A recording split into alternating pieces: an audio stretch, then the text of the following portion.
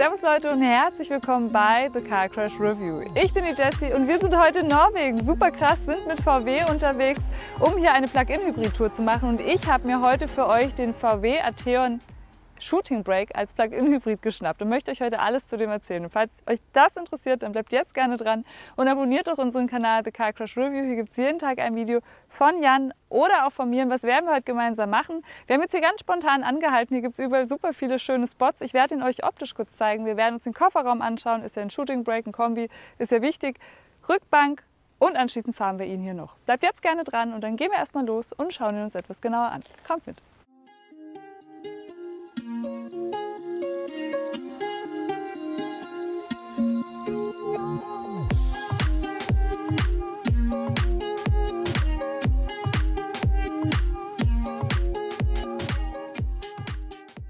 Ja, hier vorne angekommen, vielleicht erstmal zu unserem Kooperationspartner und zwar ist es GoLeasy. Was machen die Jungs? Das ist eine Vergleichsplattform für Leasingangebote und die vergleichen für euch unter Anbietern wie Leasingmarkt oder auch Vehiculum und da findet ihr garantiert euren besten GoLeasy-Preis. Vor allem Plug-in-Hybride sind super interessant für den Leasingpreis, denn ihr profitiert von einer Förderung von bis zu 7000 Euro bzw. einer Dienstwagensteuer von 0,5 Prozent. Bedeutet, ihr zahlt quasi nur die Hälfte. Bei Elektroautos, also rein Elektroautos, ist es dann 0,25 Prozent und eine Förderung von 10.000 Euro.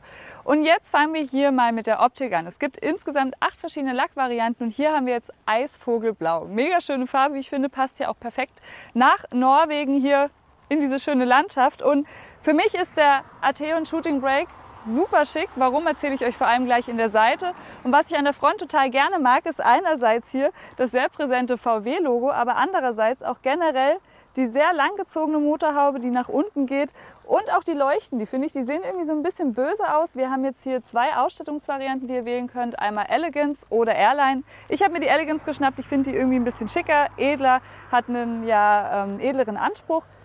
Ihr habt jetzt serienmäßig LED-Licht, optional gibt es das IQ-Licht. Es gibt kein Matrix-LED-Licht, das ist ein bisschen schade. Bei den anderen Plug-in-Hybriden, die wir hier zum Vorstellen haben, gibt es das. Und was jetzt hier vorne auch sehr schick ist, ist diese chromfarbene, ja, dieses chromfarbene Element hier vorne nochmal über der lackierten Lippe. Und wenn wir jetzt in die Seite gehen, sprechen wir vielleicht noch über die Maße. Und der ist jetzt 4 Meter 87 lang, 1,87 Meter breit und 1,46 Meter hoch.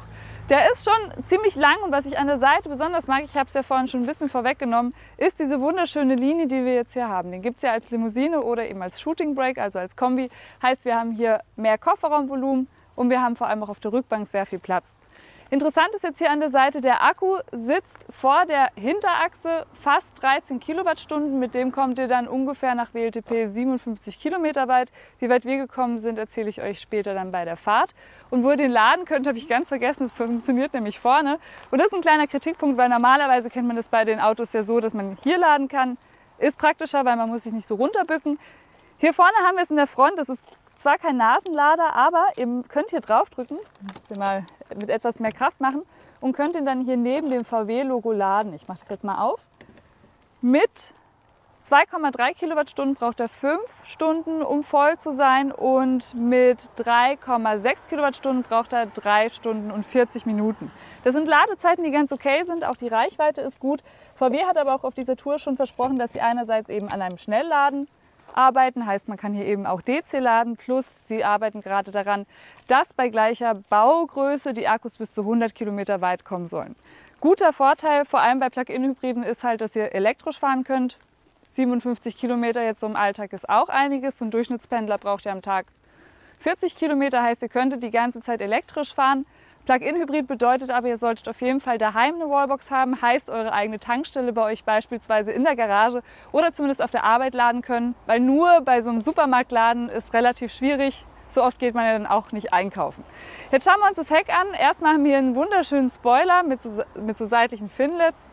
Hinten abgedunkelte Scheiben, hier übrigens auch noch abgedunkelt, habe ich euch gar nicht gesagt, finde ich sehr, sehr schick, auch mit dem Chrom hier nochmal drumherum. Und wie gesagt, die etwas abfallende Dachlinie ist auch mega schick wie auch bei den Mercedes äh, Shooting Brake Varianten. Und hier VW-Logo, Atheon steht nochmal sehr stolz drauf. E-Hybrid erkennt man nur hier an der Seite. Ich finde, an der Front erkennt man diese Ladebuchse gar nicht richtig. Und ich mag die Rückleuchten total gerne, weil die so zerklüftet aussehen. Da passiert sehr viel und das ist auch was sehr Besonderes. sieht man nicht oft so eine Rückleuchte. Hier hinten dann auch nochmal sehr viel Chrom. Man muss Chrom mögen oder nicht. Ich finde es in dem Fall vor allem mit diesem Eisvogelblau sehr schön gelöst. Hier habt ihr auch noch das EM-Kennzeichen, genauso wie vorne. Und jetzt, ja, keine richtigen Endrohre, sondern es sind so, ich nenne es mal Fake-Endrohre, beziehungsweise optische Elemente, die an Endrohre interessieren sollen. Vielleicht guckt ihr mal unten, wo die richtigen sind. Denn wir haben hier eine Kombination aus einem Benziner und einem Elektromotor. Zu den Motoren erzähle ich euch gleich ein bisschen mehr. Jetzt schauen wir uns erstmal hier den Kofferraum an. Macht man nicht hier unten auf, sondern hier typisch am VW-Logo. Ich habe ja damals auch mit einem VW Golf fahren gelernt und hier haben wir jetzt 600 bis 1500 Liter Fassungsvermögen. Das ist echt viel. Ihr habt ja super viel Platz und ich würde sagen, wir schauen jetzt mal hier gemeinsam rein. Einmal habt ihr hier so eine Ladesicherung, die ihr nach vorne ziehen könnt. Da muss Jan mich kurz durchlassen, dass ich das auch machen kann. So, die hakt jetzt hier fest und wenn ihr möchtet und so macht, fährt die auch wieder zurück in zwei Stufen, was super witzig ist. Ihr könnt die hier auch komplett rausmachen, zeige ich euch auch mal. Dann können wir auch gleich sehen, wie hier alles umgeklappt aussieht. Es gibt auch hier noch so ein Netz, dann könnt ihr hier was verspannen. Das ist super praktisch auch für den Einkauf und so. Und hier unten habt ihr dann nochmal Platz für Ladekabel. Das ist ein sehr gutes Attribut, was der Atheon jetzt hier hat, weil ich finde es super doof, wenn die Ladekabel dann irgendwie hier nur so rumfahren, rumliegen. Kachel bedeutet Haushaltssteckdose und hier habt ihr eben alles fürs AC-Laden, also an der Wallbox habt ihr dann hier. So, wie gesagt, Schnellladen kommt dann auch noch. Man muss nur gucken, dass das hier immer ordentlich drin ist. Haben jetzt die Klappe, die wir hier wieder zumachen können. Und jetzt ist eine Sache interessant. Ihr seht ja hier, wir haben hier jetzt eine Anhängerkupplung. Ich drücke mal drauf. Jetzt kommt sie hinten raus. Zieht 1,6 Tonnen. Finde ich mega. Kostet natürlich ein bisschen Aufpreis. Fährt dann hier so raus. Und wenn ich es nicht mehr haben möchte, klappt sie wieder weg und ich muss jetzt hier wieder reinstupfen. Meine Hände sind jetzt auch nicht dreckig geworden. Sehr gut, kommt natürlich immer darauf an, was man damit transportiert. Und man kann jetzt die Rückbank auch umklappen. Bevor ich das mache, möchte ich euch noch eine Sache zeigen. Hier drüben ist der Benzintank und der fasst 50 Liter. Heißt, ihr habt die 50 Liter plus eben nochmal die 13 Kilowattstunden fassende Akku. Insgesamt Reichweite sprechen wir gleich darüber. Jetzt klappe ich euch mal noch die Rückbank um. Gehe dafür auf beide Seiten.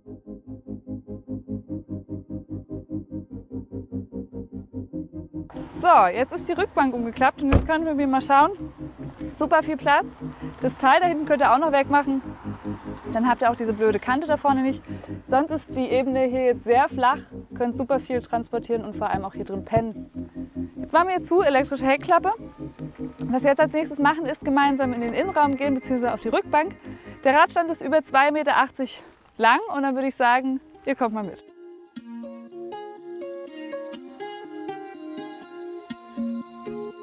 Ja, hier hinten angekommen. Erstmal, ihr seht, ich habe super viel Platz. Die Sitze sind jetzt auf Jan eingestellt. Der ist 1,88 Meter groß. Nach vorne hin, ja, gute drei Fäuste. Nach oben hin zwei Fäuste. Es gibt hier übrigens auch optional noch ein Glasschiebe-Panoramadach. Das würde ich auf jeden Fall haben wollen, könnte ich nicht darauf verzichten. Vor allem eben hier in diesem Innenraum. Der ist so schon sehr hell und ich kann mir sehr gut vorstellen, dass er eben dadurch noch heller und freundlicher wird. Sitze sind jetzt hier sehr angenehm. Ist ein Kunstleder. Kombination von einem hellen Beige und einem dunklen Grau. Wenn wir hier die Mittelarmkonsole mal runter machen, ist die weich gepolstert. Ihr habt hier auch noch zwei Cupholder. Plus ihr habt sehr gut, wenn ich es aufbekomme, eine Durchreiche. Heißt, ihr könnt jetzt hier auch Skifahren gehen damit. Ich mache die mal ganz runter. Könnt auch längere Dinge damit transportieren. Oder hier eben wieder hochklappen und dann hat man in der Mitte Platz. Kleiner Nachteil ist, in der Mitte mitfahren wird relativ schwierig. Wenn ich die Beine hier hoch mache, wird es unbequem. Ich müsste sie dann hier nach unten machen. Das ist halt ein Vorteil von Elektroautos. Die haben nämlich hier hinten meistens oder eigentlich keinen Mitteltunnel, deswegen haben sie ja auch meistens Platz. Und das macht es beim Mitfahren immer ein bisschen angenehmer. Hier habt ihr dann auch noch eine Sitzheizung, Lüftungsdüsen, die ihr selbst nochmal einstellen könnt. Qualität sieht sehr gut aus. Schauen wir mal noch in die Tür. Und da fällt erstmal auf, rahmenlose Scheiben, mega schick, vorne und hinten. Sehr schöne Tür, hier so ein Klavierlackelement, das so ein kleines Muster hat. Türöffner ist sehr schön integriert, hier nochmal auch wieder das Kunstleder. Hier könnte es ein bisschen weicher gepolstert sein, wie ich finde. Und hier unten habt ihr ein bisschen Hartplastik, aber die Tür sieht schon sehr gut aus. Was wir jetzt als nächstes machen, ist gemeinsam nach vorne gehen und erzähle ich euch noch was zu den Motoren, die wir jetzt hier haben.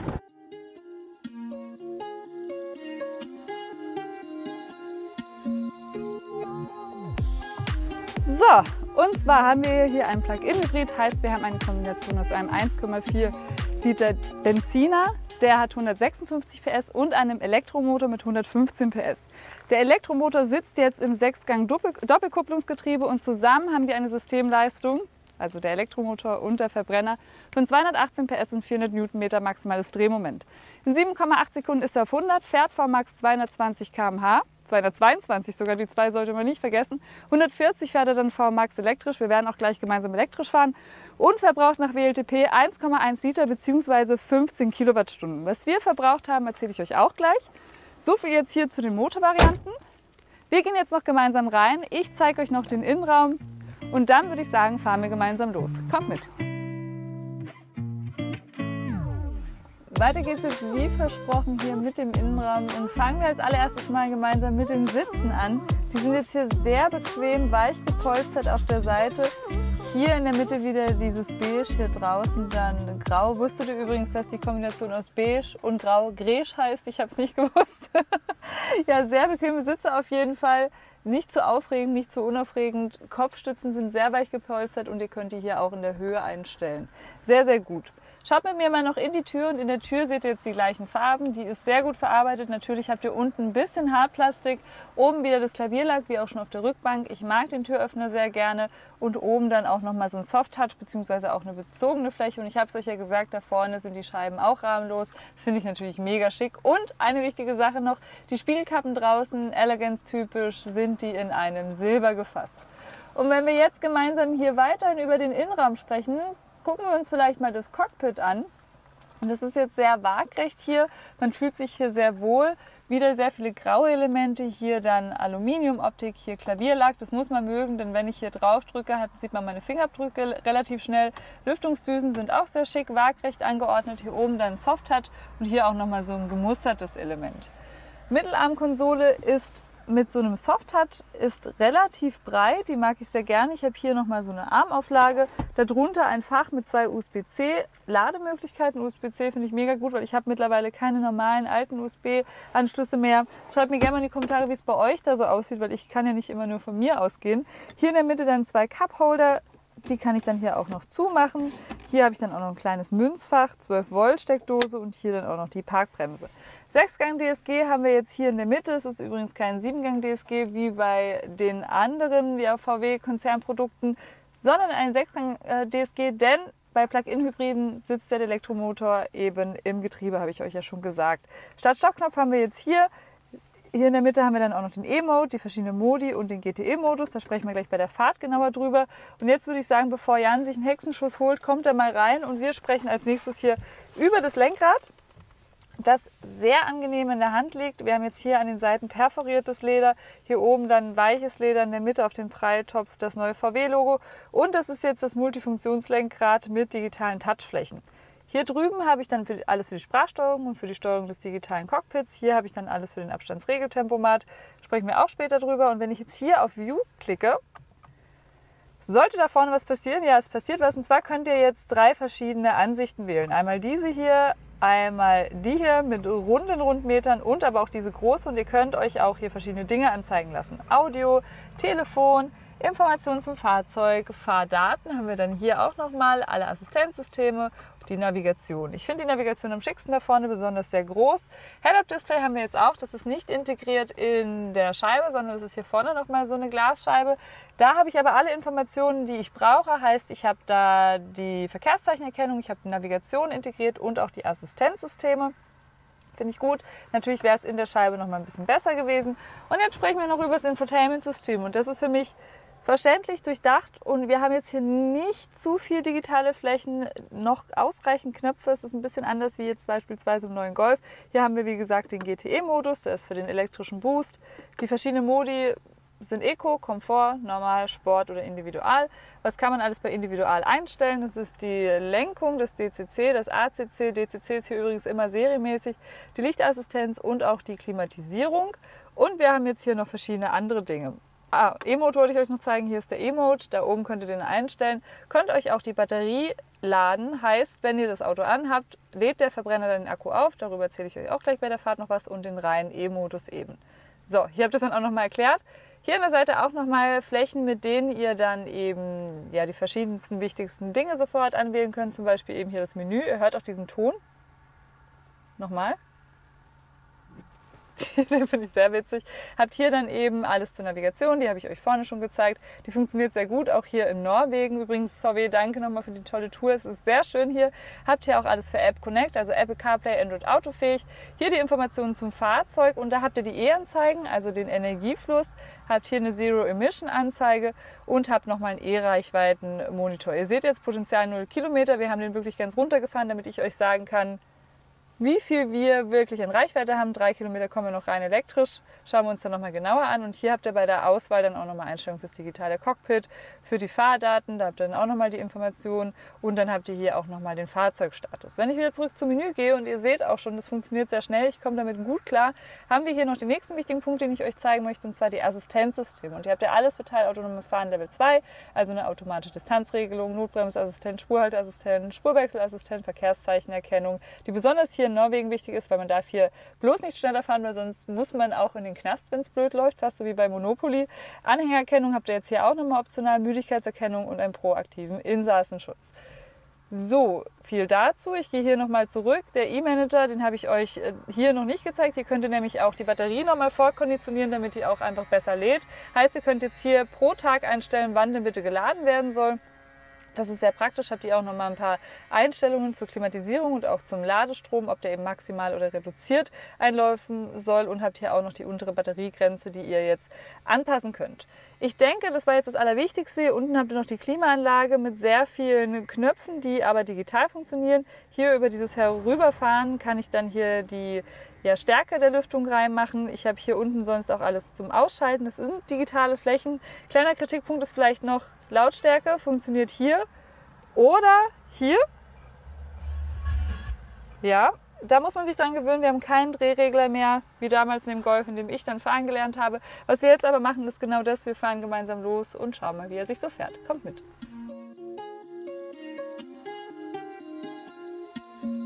Weiter geht's jetzt mit der Fahrt und erstmal starten wir vorne auf dem relativ kleinen Start-Stopp-Knopf hier unseren Atheon Shooting Brake. Hier vorne fährt dann das Head-Up-Display nach oben raus. Es knarzt am Schluss auch so ein bisschen, das ist eigentlich ganz witzig. Und was ich als nächstes mache, ist euch mal die Rückfahrkamera zeigen. So sieht es aus, die könnte ein bisschen schärfer sein. Ihr habt doch gerade gesehen, die Kamera ist integriert in das VW-Logo. Heißt, wenn das aufgeht, fährt es so raus, sieht man am Anfang immer ganz leicht. Hier habt ihr dann Hilfslinien, die auch gut sind bei der Rückfahrt. Und jetzt fahren wir gemeinsam los. Wir sind jetzt im komfortablen Modus und was ihr jetzt als allererstes hört ist, wir fahren rein elektrisch los, sind gerade im Hybridmodus und das ist natürlich einer der Vorteile bei Plug-in-Hybriden. Ihr habt gerade beim Starten, wo der Verbrenner ja am meisten Energie eben verbraucht, direkt die elektrische Anfahrt. Das ist sehr gut, vor allem eben für die Umwelt. Und jetzt sprechen wir vielleicht darüber, wie er sich jetzt im komfortablen Modus fährt. Und der ist sehr komfortabel. Ihr habt jetzt gerade gehört, der Verbrenner ist jetzt gerade dazugekommen. Wir sind im Hybridmodus. Ich bin jetzt ein bisschen mehr aufs Gas gegangen. Und vor allem ist der Akku ja jetzt langsam schon leer. Wir haben ja wirklich geguckt, wie weit wir gekommen sind. Und das erzähle ich euch jetzt einfach direkt. Wir sind 51 Kilometer rein elektrisch gekommen. Jetzt muss man dazu sagen, wir sind jetzt hier in Norwegen. Man darf hier vor max nur 80 km/h fahren. Das ist nicht sehr viel. Wenn man jetzt auf der Autobahn fahren würde, würde das deutlich schneller gehen. Jetzt mache ich mal kurz die Klimaanlage hier noch an, weil bei Jan beschlagen schon die Scheiben ein bisschen. Und wir schauen uns jetzt mal hier an, welche Modi wir haben.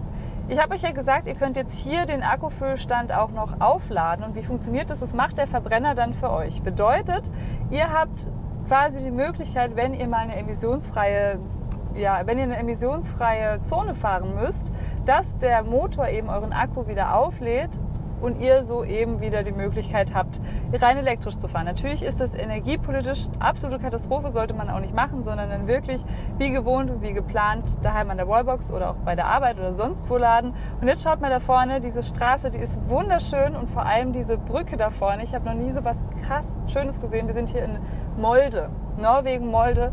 Großer Tipp, falls ihr mal die Möglichkeit habt, hierher zu kommen, macht es auf jeden Fall. Und Wichtig ist jetzt auch, dass ich nicht zu schnell fahre, weil wir haben heute gelernt, dass vor allem in Norwegen man sehr hohe Geldstrafen hat oder man muss in den Knast. Das ist krass, ich habe keine Lust, in den Knast zu gehen. Deswegen wundert euch jetzt nicht, falls ich ab und zu mal etwas langsamer fahre, weil das ist es mir nicht wert. Jetzt haben wir hier noch weitere Modi. Wir haben jetzt hier nochmal normal, Normalmodus und wir haben den sportlichen Modus. Und den benutzen wir jetzt mal, fahren jetzt hier ein bisschen schneller hoch und ihr merkt schon, der Verbrenner kommt dazu und ich mag dieses Zusammenspiel aus Elektromotor, Verbrenner in diesem hybriden Modus, beziehungsweise auch jetzt im Sportmodus. Das funktioniert sehr gut, schaltet sehr gut und jetzt Achtung, das war jetzt ein Hubbel. Die Federung ist auch gut. Wir haben ja ein DCC, heißt die Federung ist auch anpassbar, beziehungsweise die Dämpfer sehr angenehmes Fahren. Vor allem habe ich unfassbar viel Platz im Kofferraum. Ich kann mir sehr gut vorstellen, dass ich mit meinen Kiddies damit, wenn ich welche hätte, in den Urlaub fahren kann oder eben auch als Vertreter hier, falls ich viel transportieren muss. Die Sache ist halt nur die, wie gesagt, man sollte auf jeden Fall laden. Und auch wenn man in den Urlaub geht, gibt es viele Möglichkeiten zu laden, auch hier in Norwegen. Dann haben wir hier jetzt noch den reinen E-Modus, heißt ich kann hier drauf drücken und fahre dann rein elektrisch bis Max 140 km/h. Generell vom Max fährt er 222 km/h, das habe ich euch auch schon erzählt. Und wir haben jetzt hier auch noch den GTE-Modus. Das ist ein Boost-Modus und in dem rekuperiert er auch ein bisschen stärker. Wenn ich hier runterziehe, habe ich auch noch den B-Modus, heißt, da rekuperiert er dann auch noch mal ein bisschen stärker. Und was bedeutet eigentlich rekuperieren? Beim Rekuperieren ist es so, dass der Elektromotor gleichzeitig als Generator dient und den Akku wieder auflädt. Heißt, die Energie verfliegt nicht einfach, wenn wir beispielsweise auf eine Ampel zufahren und bremsen oder eben vom Gas schon runtergehen in manchen Modus, wie jetzt hier. Ihr merkt, er zieht nach hinten. Es fühlt sich auch an, als ob das Auto so ein bisschen ziehen würde. Und das bringt halt eben den Vorteil mit, dass ihr eben den Akku wieder damit teilweise aufladen könnt. Jetzt erzähle ich euch noch was zum Verbrauch und angegeben ist er ja bei 1,1 Liter beziehungsweise 15 Kilowattstunden. Damit kann man jetzt relativ wenig anfangen, außer man fährt genauso wie eben diese Teststrecke war. Was jetzt interessant ist, ich fahre jetzt hier vielleicht nochmal zurück, weil ich einfach diese schöne Brücke nochmal fahren möchte. Was jetzt interessant ist, wenn man jetzt rein elektrisch gefahren ist, haben wir so ungefähr ja 28 Kilowattstunden gebraucht. Das ist ganz gut. Wenn der jetzt leer ist, also wenn der E-Motor leer ist, beziehungsweise der Akku leer ist, wenn der Akku dann aber leer ist, haben wir so ungefähr 8 oder 9 Liter verbraucht. Kommt natürlich immer aufs Fahren an. Hier bei 80 äh, km/h ist es dann halt doch nicht so viel. So, das habe ich euch jetzt das meiste gesagt. Rekuperieren, Laden haben wir gesprochen. Ich habe euch die verschiedenen Modi gezeigt. Ich habe euch erklärt, was Rekuperieren heißt. Falls euch noch irgendwas fehlt, schreibt es mir in die Kommentare. Wir beantworten das dann auch gerne. Head-Up-Display finde ich auch gut. Da vorne habe ich noch alle Informationen. Ich habe eine Verkehrszeichenerkennung, ich habe die Geschwindigkeit, die ich gerade fahre, habe das direkt im Auge. Auch die Dämpfung bzw. die Federung ist hier sehr gut. Und ich habe jetzt hier die Möglichkeit, über den kleinen Knopf hier den Lane Assist reinzumachen oder eben nicht und habe dann eben auch ja, einen Geschwindigkeitsbegrenzer. Und wenn ich den Lane Assist drin habe, dann hält er mir jetzt hier die Spur. Mal gucken, ob es klappt. Ja, manchmal kommt es darauf an, ob er jetzt hier die Lane erkennt oder nicht. In dem Fall hat es jetzt nicht geklappt, aber ich habe auf jeden Fall die Möglichkeit, hier einen Spurhalteassistent reinzumachen und den Lane äh, Keep Assist und habe eben dann hier einerseits die Spurhaltemöglichkeit oder eben halt andererseits die Möglichkeit, den Abstand zum Vordermann zu wahren. Und so kann ich dann auch auf der Autobahn sehr komfortabel fahren. Kleiner Kritikpunkt ist, dass jetzt hier die Reichweite nur über 50 Kilometer ist. Bald werden die Förderungen ja angepasst, dann reicht das nicht mehr für eben die fast 7000 Euro beziehungsweise eben 0,5 Prozent Dienstwagensteuer.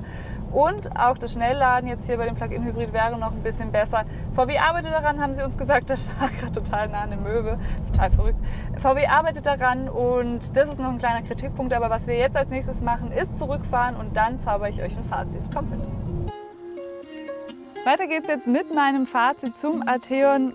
Und ich muss erstmal sagen, Leute, wenn ihr euch überlegt, einen Plug-in-Hybrid zuzulegen, dann solltet ihr auch die Möglichkeit haben, den zu laden. Entweder bei euch daheim oder auf der Arbeit, auf jeden Fall irgendwo, wo es regelmäßig passieren kann. Denn ich finde, beim Einkaufen reicht es nicht. Und vor allem finde ich super schlimm, wenn man dieses Auto wieder zurückgibt und die Kabel einfach verpackt bleiben. Dafür sind die nicht gemacht.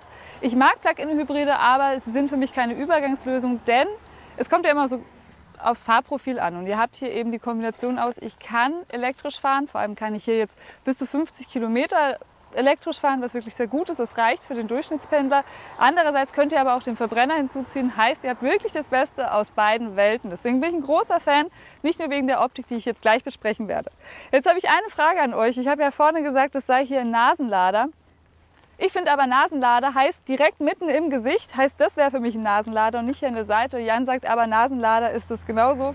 Schreibt mir mal gerne in die Kommentare, wie ihr es seht. Ich schätze mal, ihr seid Jans Meinung und nicht meiner Meinung. Und jetzt sprechen wir noch über die Optik und ich finde, der Atheon Shooting Brake ist einer der schönsten Kombis, die gerade auf dem Markt sind. Vor allem wegen dieser leicht herabfallenden Dachlinie. Ich finde, er hat eine wunderschöne Form. Es ist das Flaggschiff von VW. Ich stehe auf dieses Auto vor allem eben hier in der Elegance oder Elegance Ausstattungsvariante. Und jetzt sprechen wir über den Preis und jetzt wird es interessant. Der Theon beginnt nämlich bei 42.000 Euro als Verbrenner. Als Plug-in-Hybrid beginnt er bei 51.000 Euro und als Shooting Brake beginnt er dann bei 52.000 Euro. Das sind Preise, die sind gut, vor allem wenn ihr euch überlegt, dass ihr hier eben die Förderung, die ich euch gerade schon genannt habe, bekommt oder eine Dienstwagensteuer von 0,5 Prozent. Heißt, ihr bezahlt quasi im Endeffekt nur die Hälfte und das ist echt sehr, sehr gut. Schreibt mir gerne in die Kommentare, wie so euer Eindruck war. Sehr komfortables Fahren. Ich mag dieses Auto. Bisschen viel digital im Innenraum, aber das ist ja wie immer Geschmackssache. Wer dieses Auto auch gut finden wird, ist unser Kooperationspartner GoLeasy. Was machen die Jungs? Das ist eine Vergleichsplattform für Leasingangebote und die vergleichen für euch unter Anbietern wie Leasingmarkt oder auch Vehiculum und da findet ihr garantiert euren besten GoLeasy-Preis. Hier seid ihr aber gelandet bei The Car Crash Review. Hier gibt es jeden Tag ein Video von Jan oder auch von mir. Hier seid ihr bestens informiert und dann würde ich sagen, sehen wir uns hoffentlich bald wieder. Bis dann!